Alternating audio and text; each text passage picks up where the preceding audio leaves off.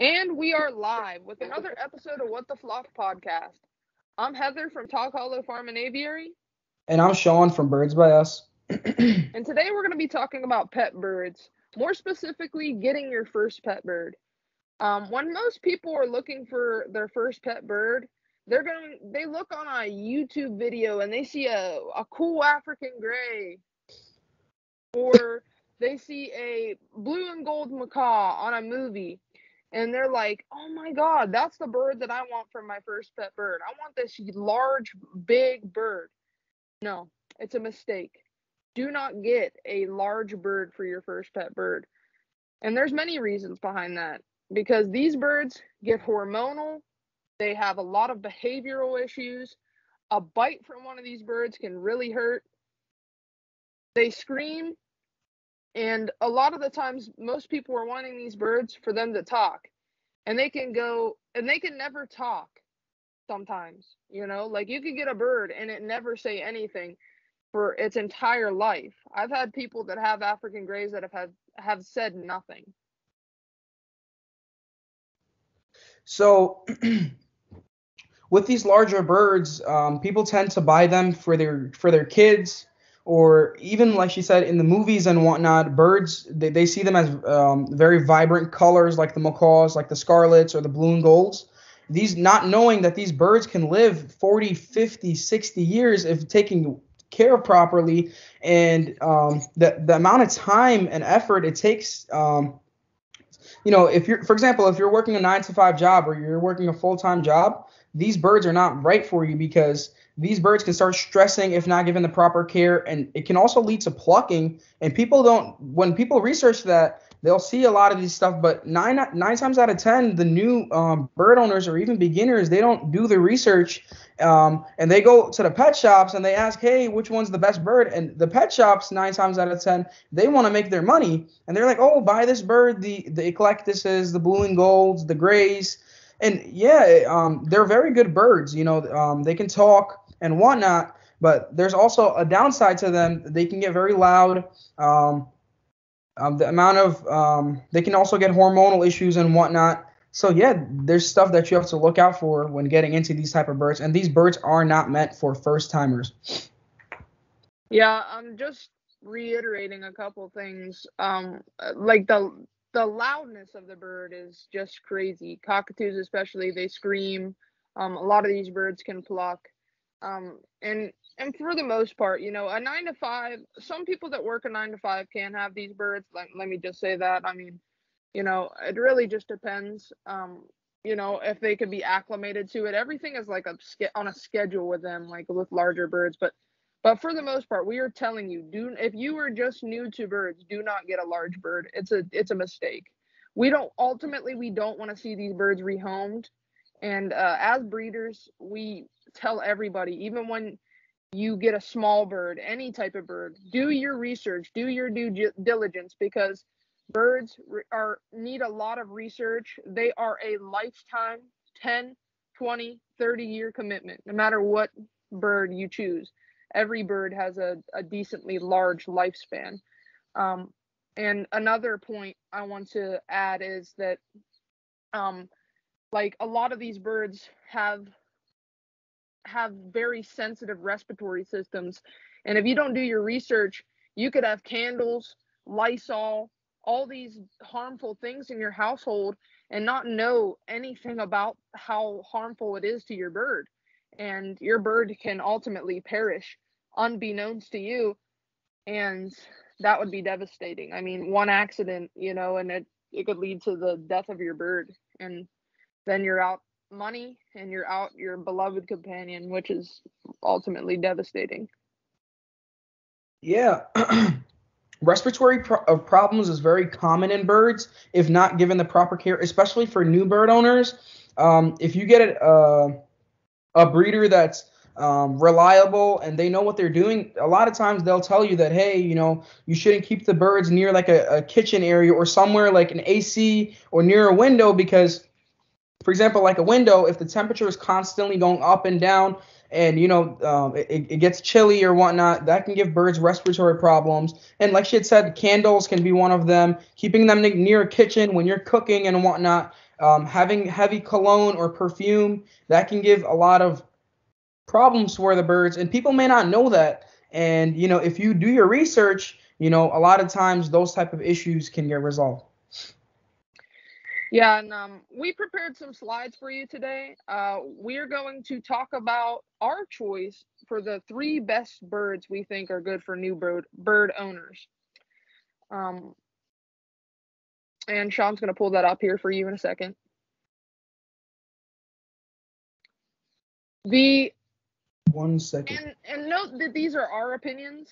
Um, and each bird that we go through, we're going to talk about why we chose those birds, pretty much why why they're on our list and the reasons. And every bird is going to have a con, a couple cons. So these we're also going to talk about our cons as well with the birds that we chose. Could you see my screen? Yes, I can.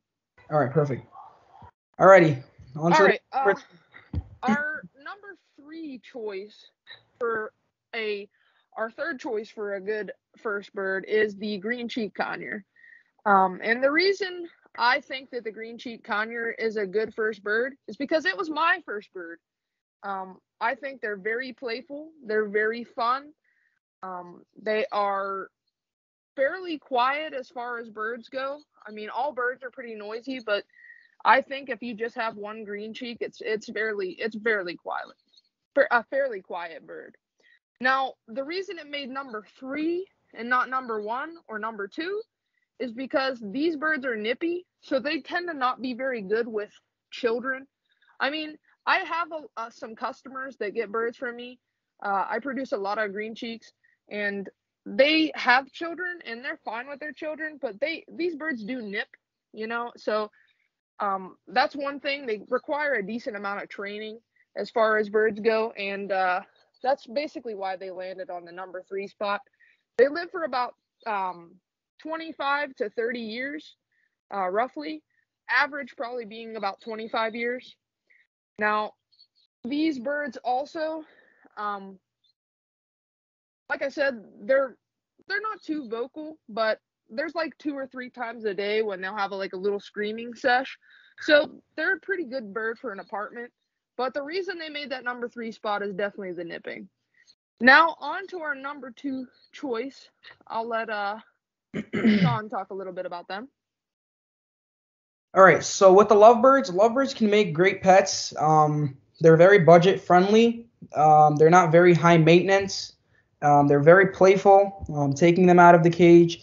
Um, it's recommended not only with the conures or the lovebirds or cockatiels, any type of bird, that having them alone, especially with their human uh, friend, uh, to have them alone with their owner because they can spend more time and they can get um, like attached to you um, a lot of people, when they t- take two birds in, like for example, two lovebirds, they can end up bonding together, and that can be an issue. But overall, lovebirds make very good pets. I mean, they live a, a lifespan about, of about 10 years, I think, 10 to 15 years.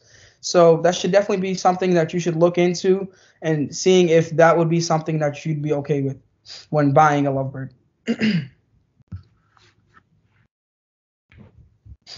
Yeah, and I uh, I personally raise lovebirds, uh, peach face, and I think they make great pets. Mm-hmm. Honestly, they um they come in a lot of different colors, which I like about them. Same with the green cheeks; they come in a lot of different colors. But the reason I land them on the number two spot is because they are pretty quiet, especially if you have just one. They're very quiet birds. Um, they're they're friendly, and they when you have them as a single, they bond really well with their owners. Um, I always recommend a single lovebird if it's mm-hmm. just uh you know just a single person. But I I've had people get two and they've been just as friendly.